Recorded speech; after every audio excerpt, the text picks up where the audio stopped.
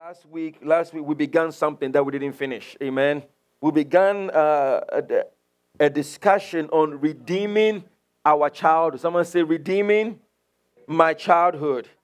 And, and, and, and we did a good, a good discussion on it, but we, we, did, we, we never finished.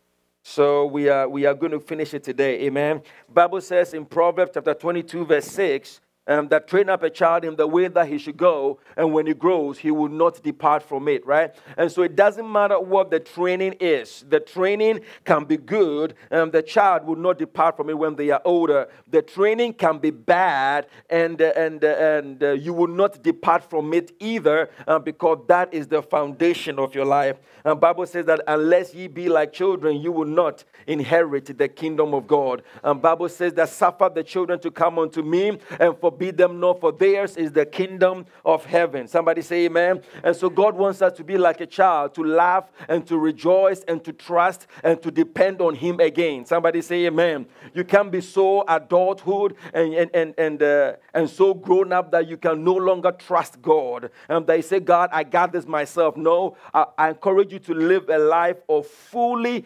dependent on God, fully leaning on Jesus Christ. Somebody say amen. I mentioned five things, and I'm just going to go through it real fast about things that may have happened to you as a child. One, two, or more may have happened. Uh, some of us grew up too fast. We grew up way too fast. So now we are overwhelmed with responsibility. All we know is responsibility.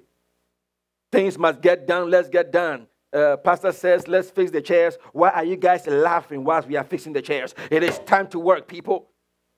Okay, calm down. you see what I'm saying? You are so responsibility focused um, that you have lost the joy of serving. You have lost the joy of just enjoying life uh, and being able to still accomplish a task. When that happens with, with uh, overwhelming responsibility as a child, you lose emotion. You no longer have the emotion, the, the joy, the smile, all of that is like, nobody has time for that. Got work lose that. Somebody say amen.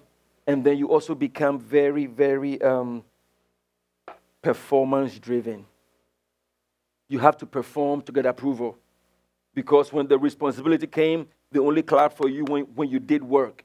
You were not clapped for and encouraged and loved just because of you you were encouraged and, and, and, and applauded because you did something. So the rest of your life, you have developed this mentality of I have to do something, and you take it to God. And God says, just rest in my presence. No, no, no, no, God. So you end up you do doing things, busy about doing things, uh, and being like a Martha instead of a Mary. Now you have become now now now you have you have you, you have forgotten the Lord of the work and been busy with the work of the Lord. You get it, becomes an idol in your life, and your and your affirmation and your confidence comes when when something you do in church or something you do in life goes well. You're like, yes, I am somebody. The moment something little goes wrong, I am nobody because your value is tied to what you do. All right. The second thing that happened to some of us as a child is that uh, innocence was was taken away abuse or knowing or seeing something you shouldn't have seen was taken away from you. And so now everything, everything is mature. Everything goes faster than it's supposed to be. You can no longer uh, be, be, be, be innocent and gentle. You always have an opinion on something. You, you always have a warped perspective. And because something that is meant to be innocent is always translated as not innocent. You see what I'm saying? Someone can say a, a simple joke like, "What do you mean by that?" Oh, I, I just, I just meant it in what it was. But because innocence is taken away, you no longer see anything with the eyes of innocence. Everything has to be interpreted. There's always something behind something. I know what you said, but I know what you meant. No, no, I meant what I said. Oh, no, no, no. no. I know, no, there's no more to what I'm saying than what I said. That's what happens when childhood innocence is taken away. Trust becomes an issue, eh? Mm. This too happens. When innocence is taken away, uh, you have the need to know. You, can, you just can't trust not knowing. Where do you go? Who you talk to? Who you phone with? What's happening? So I saw you raise your hands in the church. You raise your hands the very moment that brother raises hands. What's going on? Uh, yeah, exactly. Paranoia sets in because innocence is gone. When innocence is gone, everything becomes suspicious. I gotta know. So, so yeah, your phone rang three times last night. What was that? Oh, it was my boss. Are you sure? Innocence is gone. When innocence is gone, you are suspicious of everything. And, and you lose the very nature of a child that is trusting and hopeful. Children believe anything. They believe anything you tell them, you know, to the point that I can use milk as hostage for my children. Somebody say amen. Can tell them if you don't drink all your milk, we cannot go to vacation. No, daddy, no. Because in their mind, the money for the milk is enough to pay for the vacation. That's innocence, I'm saying. That's innocence. And if you grow up too fast, or if innocence is taken away, you are, you are judgmental in everything. You've lost the very purity of life. Somebody say amen. And I think that some of us experienced was negligence, negligence, abandonment, and rejection. When you have experienced negligence, abandonment, and rejection, you are always afraid to be alone. You can't, you, you can't stand being alone. Silence. Ooh, you can't Something must be on. The TV must be on. The radio must be on. The phone must be active. There's always something that must fill your space because you fear that if I don't hear somebody around, that means I am alone. And people come into your life, and, you, and the first thing you do is time them on the clock. Yep, uh, five, four, three. Yep, they're gone. You're expecting people to check out of your life quickly because that was what you experienced as a child. Or when people come into your life, your relationship with them is light because you, you have already bought their tickets to leave.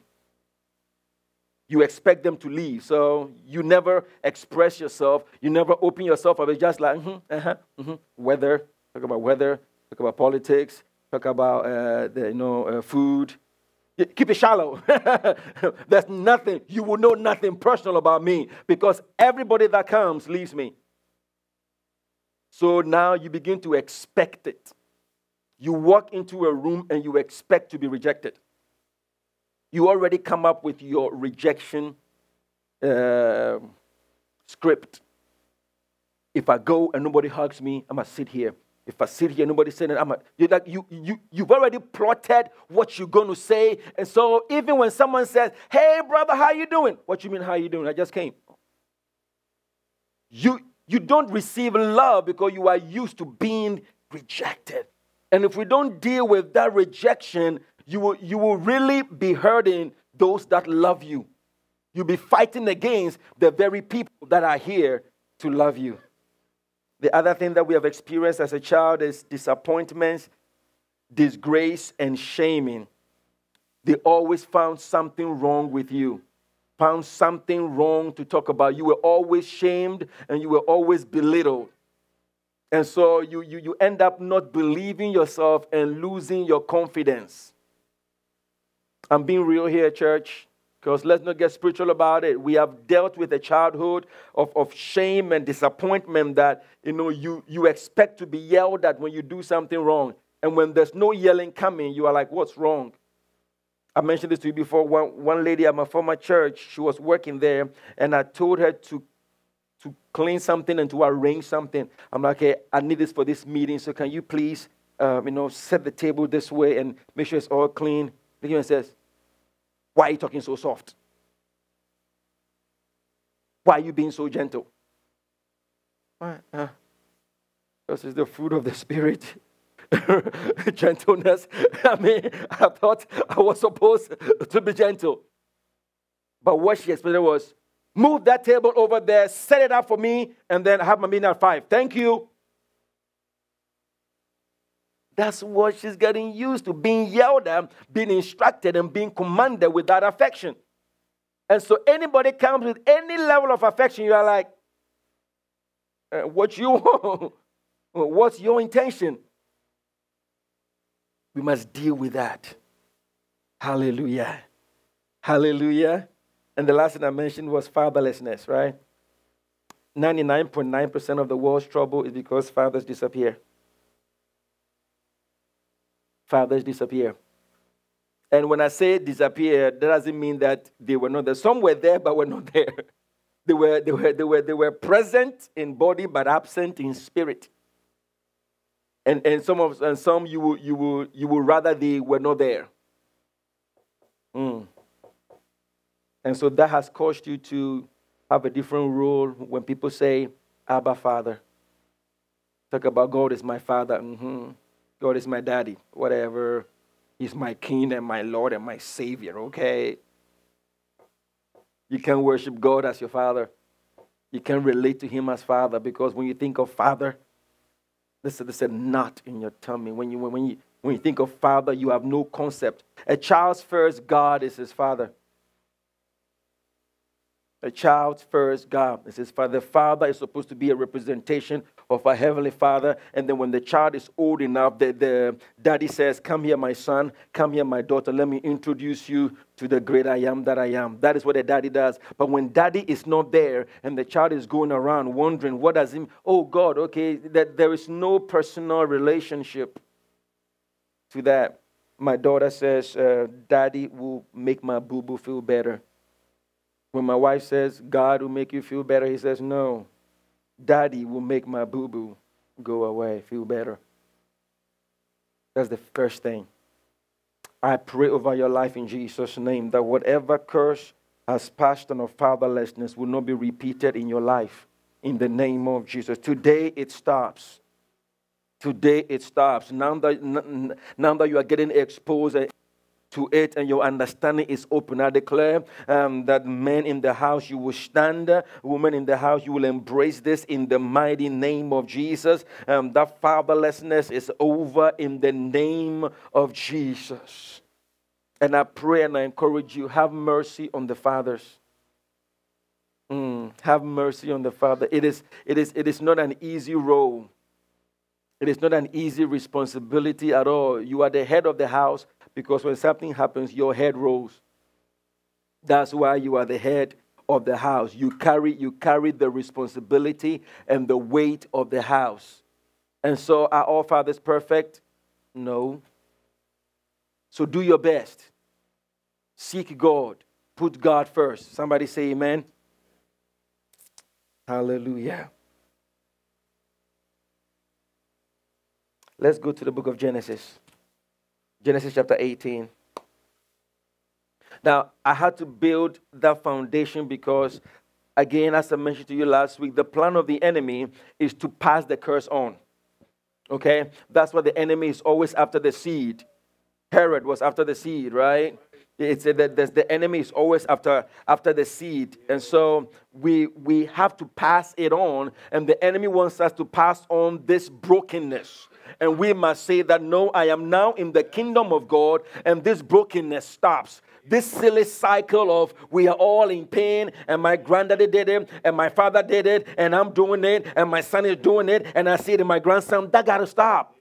You just can't say it's okay. It is not okay. You just can't be a believer and say, I have the power of God in my life and tolerate the repetition of a curse.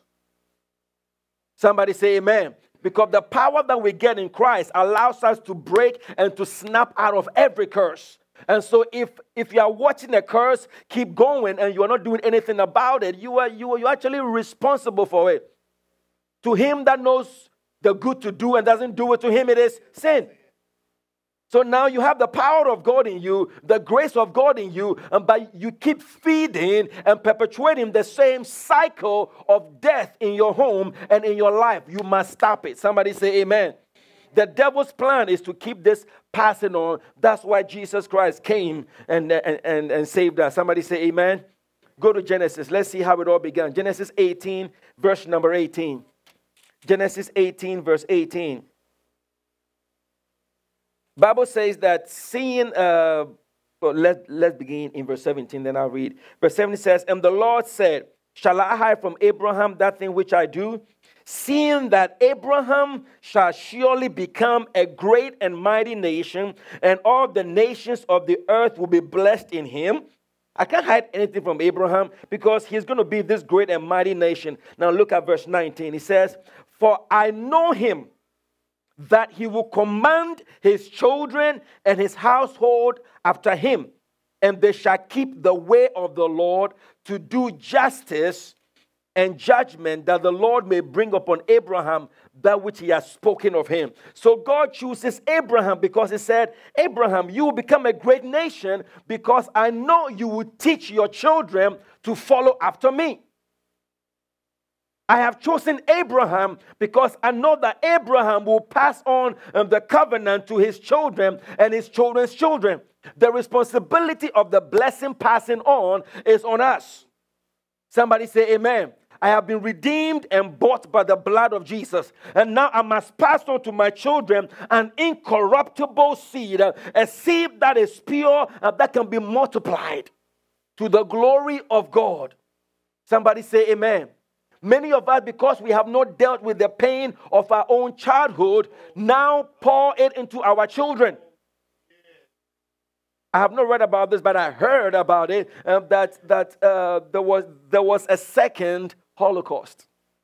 And that second Holocaust was when the people uh, that went through the Holocaust itself began to speak to their children. Don't trust anybody. Watch out for yourself.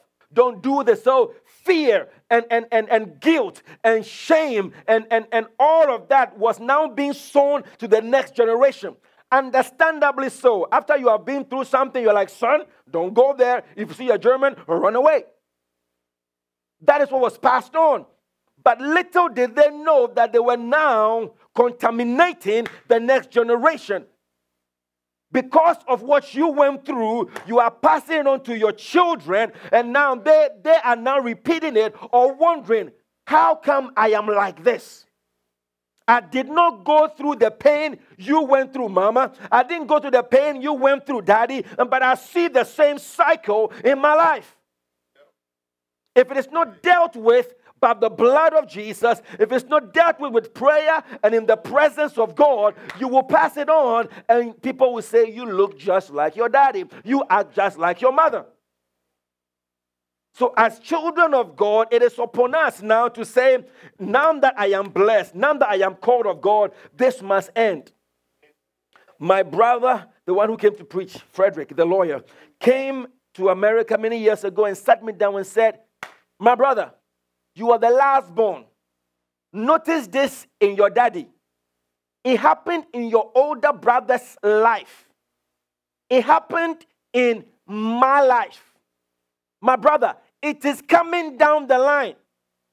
Stop it before it gets to you.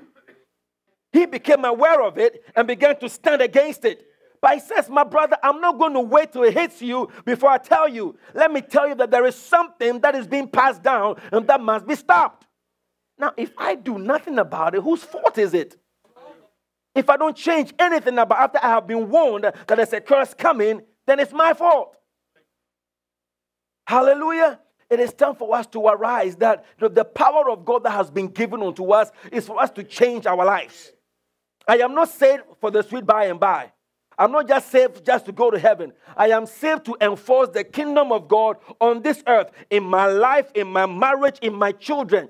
My children will never fight the battles I had to fight.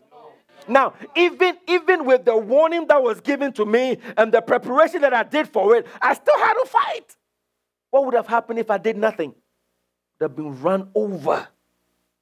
And then my children were like, Daddy, I don't know, but uh, at this, uh, I, just had my degree and I don't, I don't know. My life is confused and, and I have no money. That was the curse that was coming down. Well educated, well skilled, but broke. Hallelujah. You know what goes on in your family across across my, my, my, my house in Ghana was a family. And uh, I, it wasn't until later that I observed it that it was a family of women. The father was there, the mother was there, and about four daughters were there, and all the children of the daughters were with the house, were in the house. So they would get married, then come back home with their children. Divorced. They would get married. All of them, there was none exception. All the girls got married, got divorced, and came back home. Coincidence? So if they don't deal with it, then the, the, the, the children will pass it on. Even the sons will pass it on. The sons will understand that when we get married, we don't stay together. So why do you expect me to stay married? Because my daddy did not stay with my mother. So why should I stay with you?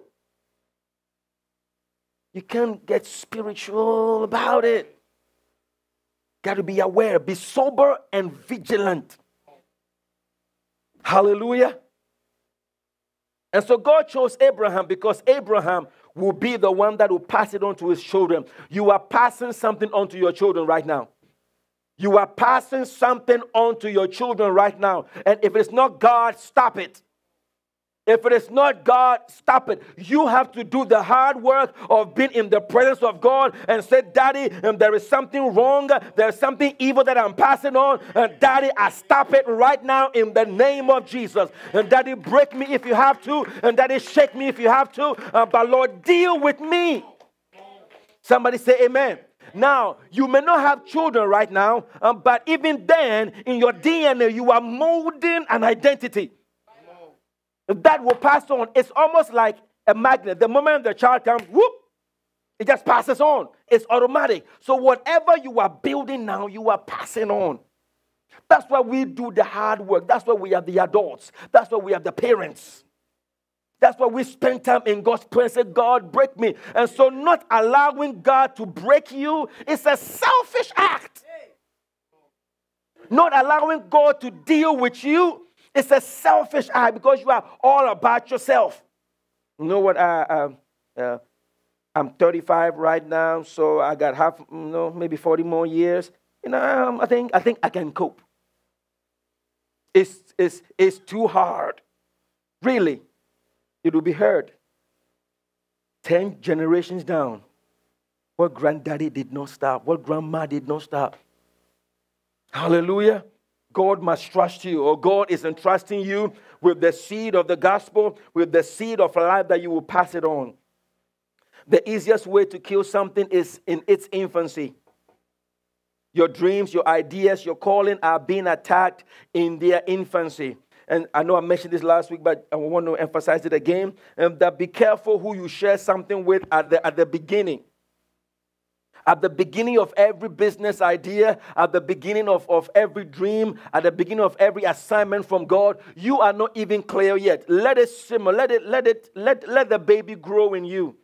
That, that's why I don't get it why in America, the moment somebody gets pregnant, oh my gosh, I'm pregnant. Let the baby take seed. Don't, don't be blasting the pictures of the whatever, how, how do you call that? Ultrasound on, on, on Facebook. Oh my God, look at me. And then what happens? You see, you see, it's it's what happens if, if the baby doesn't stay? Then now you are not only depressed and sad about it because it's a it's a bad thing that's happened, but now you gotta tell people it's okay. And not everybody that's smiling and liking it likes it.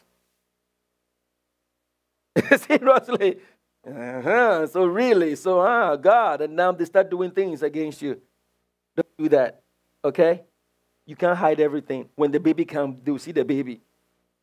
People, people back home did not know when my wife was pregnant. I didn't tell my brothers. What, what, what are they going to do? If I told them, what, what are they going to do about it? They can't carry it. They are not sending me money for it. They are not feeding the baby. So what? If you are praying for me, keep praying. you see, we, we try to involve, because listen, at the infancy, anything happens, it's delicate, it is, it is sensitive. A plant, very young, can be broken over by the wind. Very delicate. A child, very, so keep your delicacy to yourself. Amen.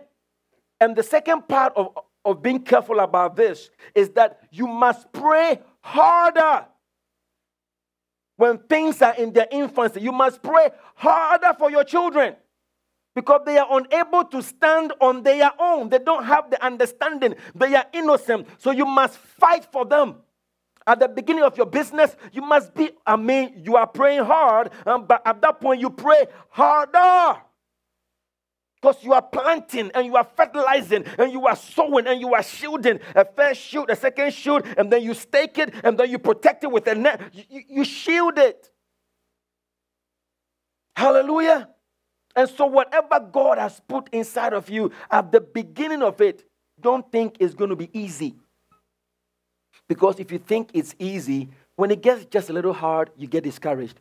Oh my God, what's going on? No, it is the beginning of something. The beginning of everything is hard. It's easier to roof a building than to do a foundation. Foundation, you got to dig, you got to dig and then find a bedrock and make sure it's solid and then pound, pound, and then level and then pound. And it's, it's work. Roofing is douche, douche, douche, douche, douche. Ah, douche, douche, douche. It's nice. It's pretty. The foundation no one sees. So the hard work is going to come at the beginning. So don't be sloppy. Don't expect things to just work out because you just told somebody about it. And especially when you get a, a prophetic word, oh, that word is a tiny, tiny, tiny little baby. A prophetic word is not fulfilled. A prophetic word is a seed that you must sow and work through and pray through until it's manifest. Somebody say amen. Come on, turn to them and tell them, I will arise and I will pray. Hallelujah. There is, there, is, there is something that God wants us to pass on, and that is powerful. We will not allow the enemy to steal it from us. Amen. Let's go to 2 Kings chapter 5. 2 Kings chapter 5. Your daddy loves you. You know that? Your God loves you. 2 Kings chapter 5.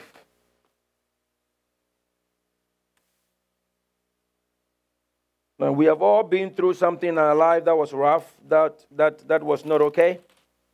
But there's something about the redemptive power of Jesus. Somebody say amen. And, and as, we, as, we, as we end this discussion, I want you to remember this. Second Kings chapter 5, verse 7. Actually, verse, verse 7 talks about Naaman, you know, a general of Syria coming to Elisha and uh, let's jump all the way to verse number 10. 2 Kings 5, verse 10 says, And Elisha sent a messenger unto him, saying, Go and wash in the Jordan seven times, and thy flesh shall come again to thee, and shall be clean. But then Naaman got mad and said, How can you let me dip in the Jordan when it's when I have better rivers? listen, bro, it's not about what it looks like, it's about the power. Mm. Mm. Okay, that'll preach. Let's move on. Jump to verse number 14. And so he is convinced now to go dip in the Jordan. Then he went down and dipped himself seven times in the Jordan. He completed the process according to the saying of the man of God, and his flesh came again like the flesh of a little child, and he was clean. Yet again, we see the restoration of childhood the restoration of that which was was was damaged and and and um, and destroyed now being destroyed uh, now being restored back to that of a child one thing i want you to remember after this day and that whatever you are going through, whatever you have been through as a child, it is not too difficult and it's not too horrible that my Jesus cannot redeem it. There is nothing you have been through. There is nothing you have been through. There's nothing you are going through. Uh, daddy not been there. Uh, sexual abuse, emotional abuse, uh, mental abuse. There's nothing that you have suffered. Rejection, the pain. None of that can be compared to the power of God. There is nothing so damaging um, that Jesus cannot restore uh, back to what it was supposed to be. Somebody say amen. Naaman's body was he was an old, I mean, he he was a general, and so he must have been a very old man who have fought in the military and then gained the rank of general. So he has been around for a little bit, and then uh, uh, he has this leprosy on his skin, um, but but he comes, he dips in the Jordan and seven times, and he's made completely whole, and his skin becomes that of a baby. How many of you want to dip in the Jordan seven times? Yeah, yeah, we all do, right? The fountain of youth, right? Forget Mary Kay. Let's go to the Jordan. Hallelujah. Amen. I'm to dip 14 times. Hey, one for now, one for next year. Hallelujah. Amen. But he, they were, they were, his skin was totally and completely restored like that of a baby. Somebody say amen. And so Jesus Christ uh, is able to restore and to transform your story. Somebody say amen. Your testimony will be great and there'll be no evidence of your pain. Anything that was shame to you will become your glory in the name of Jesus. Begin to picture right now, every eye closed, begin to picture right now the very thing that was your pain, the very thing that was your shame, the very thing that was a burden, uh, uh, by the blood of Jesus Christ uh, is now a mighty testimony to the glory of God. Uh, um, that God has healed that relationship and God has restored uh, and God has transformed uh, and made it completely well.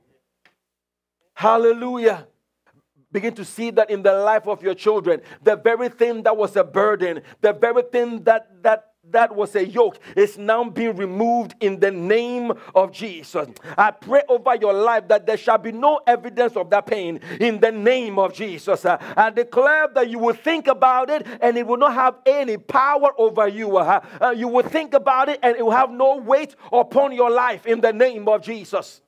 See, it is called the power of a memory. You can open your eyes now. It is called the power of a memory. You know what? I can think about something and it have impact on me, but then I can think on something and it have no impact on me at all. Somebody say amen. It is all based on the power that I give it.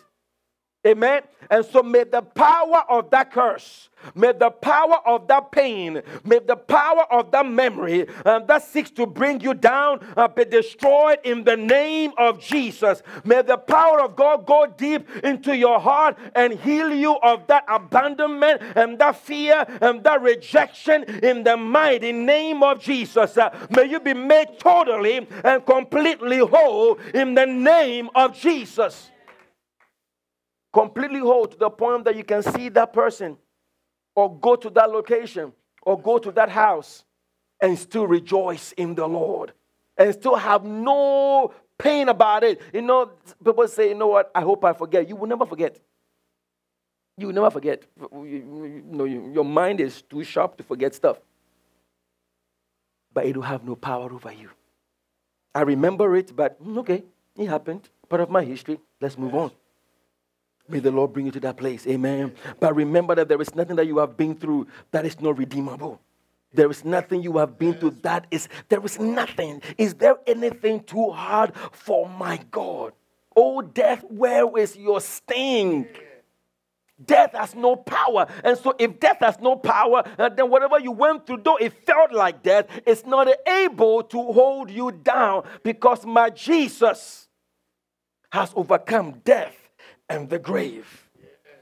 Death was supposed to kill you, the grave was supposed to bury you, uh, but both he overcame. Hallelujah. And so you are going to be healed and restored and strengthened. And guess what? You are going to become the new pillar of a new covenant. Hallelujah. In your house and in your family, you are now going to become the new pillar and say, That was our history. And by family, we are changing directions and we are going a different way. And because I am restored by the blood of Jesus. The greatest lie of the enemy is that what you're going through is, is, is greater than what God can do. The enemy says, You know what? Uh, you can't help it it just overwhelms you. No, it will no longer overwhelm you. Somebody say amen. The second thing I want you to remember the first thing is that nothing you have been through can, can be, um, nothing you have been through cannot be healed. Everything you have been through, no matter how bad, can be healed and restored by Jesus. Second one, let's go to Matthew.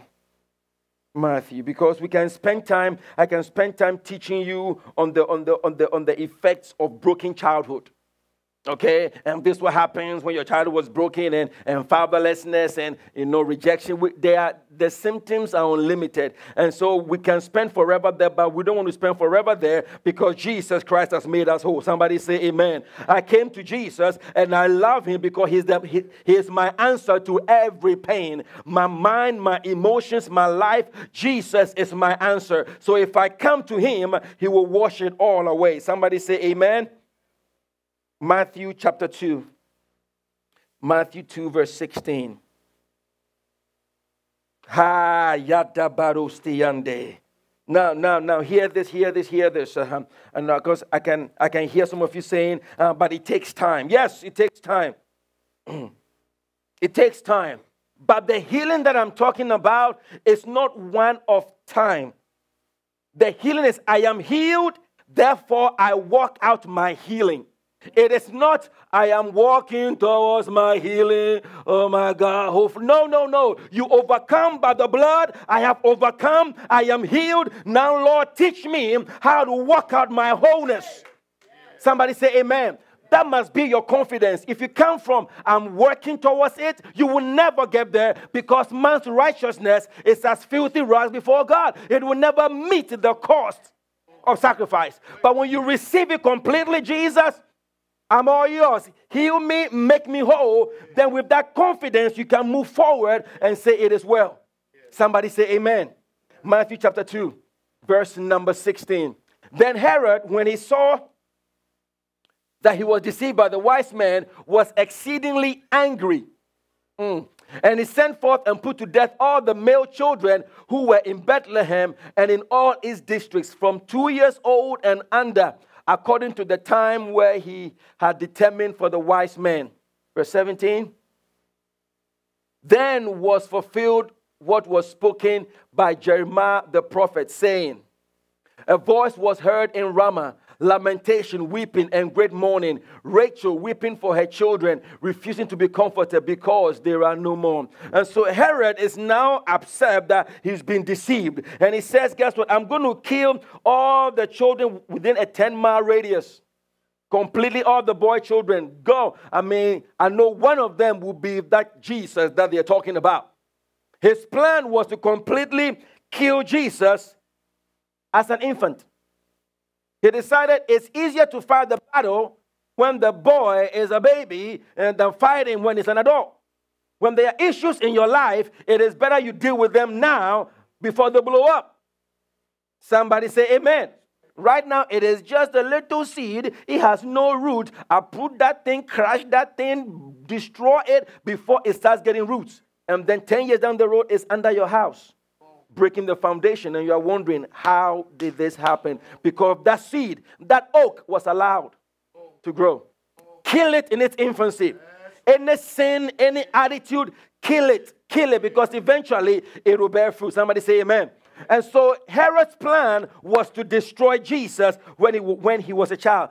That was the same plan the enemy had for you.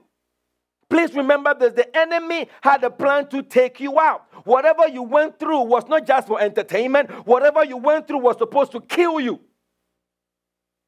The thief cometh not but to steal, to kill, and to destroy. That's the plan of the enemy to kill you. What happened in your marriage? What happened as a child? What happened in your mind? The whole point was to kill your emotion, kill your mind, kill your marriage, and completely destroy your life. But thanks be to God who gives us victory through our Lord Jesus Christ. Somebody say amen. When my mother conceived me, she had an ectopic pregnancy. And it was to the point where it was either she lived or I lived. And after uh, being the last of seven children, yeah, bro, man, you can go. because there was no way they were going to sacrifice my mother who was going to watch other kids. I came nine years after my brother. No, we, have, we, have, we have had enough, okay? It's okay. We love you, but if there was a choice to be made, they would have preserved the life of mother. And then she goes to church and there's a prophetic word, something, and then boom, here I am. I'm still here. Hallelujah. I want to encourage you that the fact that you are still here, the fact that you are here right now, It's evidence that what Herod tried to do did not work.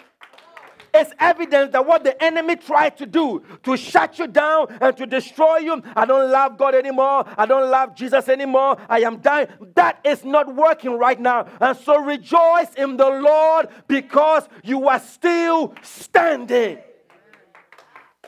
You are still standing here. The enemy meant to take you out, but here you are. Devil, you missed again. It did not work.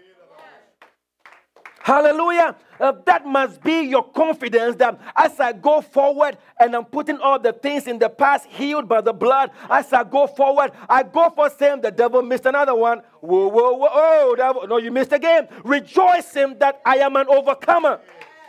You can't allow yourself to fall back in that, oh my God, they try to kill me. And oh my God, I would have, but you did not die. You are here. So stop moping and stop whining about yesterday. Paul said that one thing I do is forgetting what lies behind. I press on towards the prize of the high calling of God in Christ Jesus. If we all want to talk about our sorrows, tissues will be not enough. This place will be full of water talking about our pain and our sorrow. And it is real. We no one is discounting your pain. My pain is real, your pain is real. Uh, but Jesus Christ uh, has kept us from death. Jesus has preserved you. So may you arise and be strong in the Lord. No weapon that is formed against me shall prosper. Every tongue that will rise up against me, I'm going to shut you down. I condemn it in the name of Jesus. Let the victory of God arise in you. Stop walking like you are dead.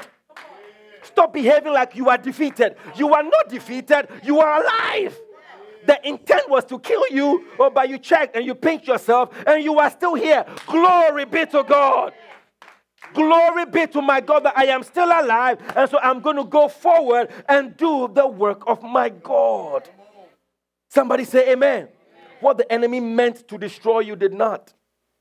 Oh my God. The enemy thought he could destroy, he could destroy the work of God in my life. Oh, it was a low point. He thought he could destroy the work of God in my life, but I'm still standing. Listen, if there was no church right now, I'll be at the corner of the street somewhere declaring that Jesus is Lord. You will find me in Zimbabwe right now and sharing the gospel. No, no, no, no, no. I shall live and not die. I shall live and not die. So your childhood may have been rough, your experiences may have been difficult, uh, but in the name of Jesus, you are redeemed by the blood, and now you will live and not die. Don't let death be even a thought. I am alive today. Oh. Greater works shall we do. For I know the thoughts I think towards you, plans to give you a hope and a future. There are greater things ahead, more things ahead. Bible says the Lord is perfecting um, that which concerneth me. Um, and so whilst he was forming me uh, in my mother's womb, uh, uh, things got a little tricky. Hey, but I survived. Uh, uh, here I am. As I was growing, the enemy tried to kill me. Hey, but here I am. and the enemy tried to suppress me, but I escaped. I am here today I am here today. And I will move forward in the power of God. I will move forward in the glory of my God. I will move forward in the victory of my King. Somebody say amen. Let that be your identity. You can't, you can't play with it.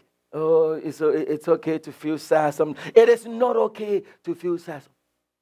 Bible says that rejoice in the Lord always.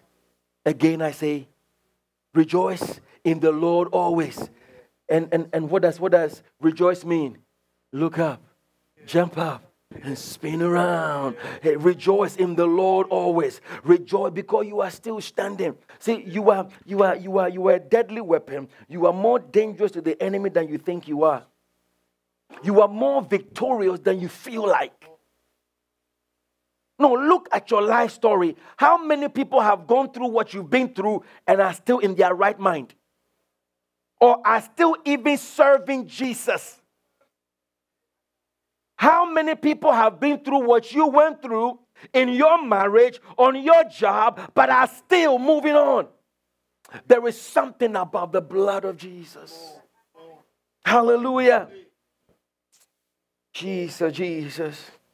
I want to share this, this quickly with you. God says, I see you and I know you. He says, I see you and I know you. Because all things are working together for your good. Don't hate your childhood. The days of hating it are over. Don't because it was it was terrible. It was horrible. But the enemy will always want you to live your life looking back. And you never, you just always running into, oh, thank you, Jesus. Oh, okay. But you're always looking back at the wrong. May it be behind you in the name of Jesus. Don't hate your childhood. It was horrible. It was terrible. It was mean. It shouldn't have been. Things happened. But in the but thank God I am saved. Thank God I am redeemed by the blood. Now I'm charging forward. And no one, and this is what um, Reinhard Bonnke said I'll make the devil pay for it. For every pain and suffering that he caused you as a child, or make him pay for it. Laugh and praise the Lord. Uh, confuse him with the praise, uh, uh, with the dance. When it's like, what? I thought you were supposed to be dead. How did you come out? Oh, the joy of the Lord is my strength.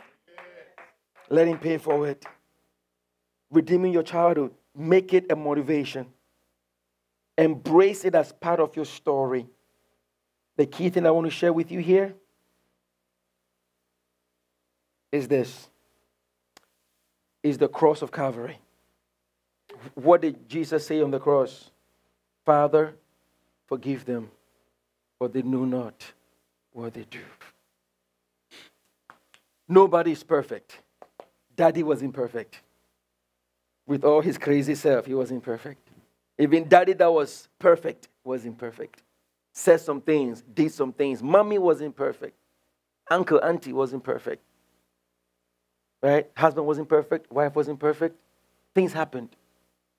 So, can we embrace the cross? Because that's the only way you can overcome it. Trying to overcome this with, with, with sessions and counseling doesn't work. Temporary band It's a hard issue.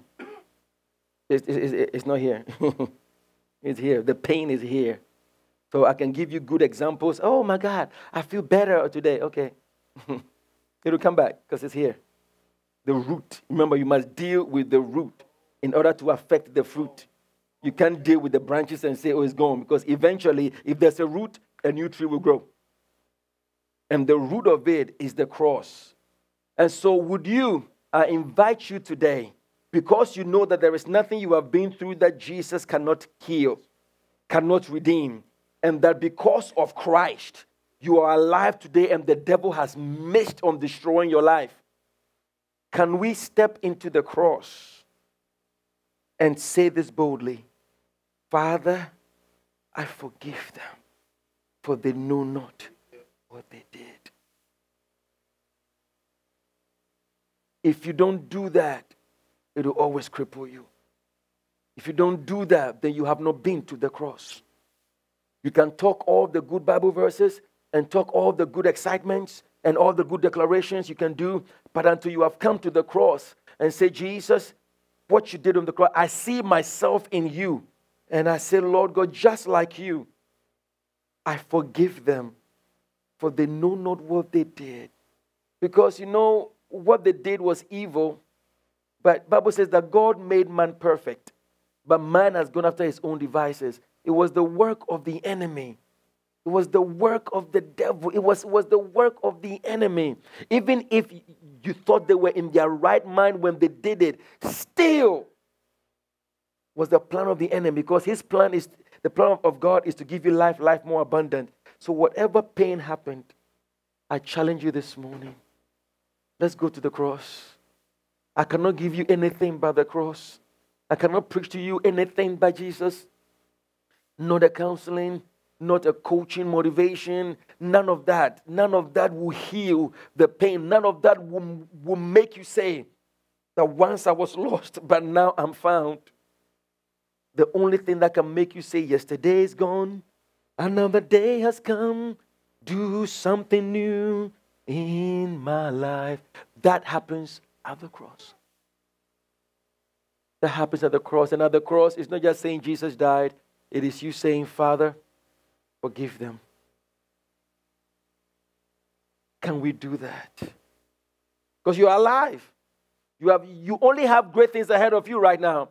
You only have victory ahead of you right now. You only have the glory of God ahead of you right now. So don't even worry about how they feel. I want them to feel the pain. I, I, I don't care how you feel.